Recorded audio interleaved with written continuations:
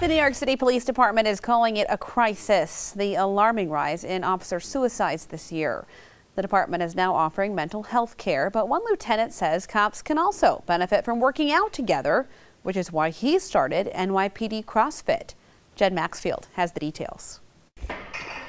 Members of the NYPD CrossFit team are working out their bodies and their minds. 10 seconds. If I was stressed, if I was upset about something, I got to take it out on the weights. NYPD CrossFit was formed last summer by Lieutenant Ron Perez, who lost more than 100 pounds doing the workout and gained lifelong friends and a more positive outlook. We are connected. We're working out with each other. We're cheering each other on.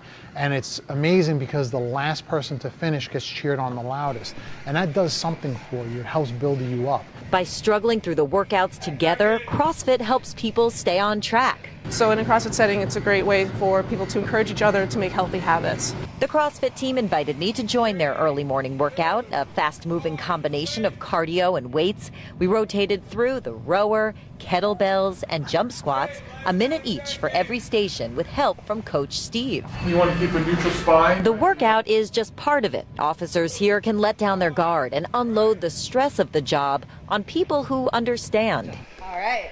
It's a way of venting and not feeling like you're going to be looked at weird.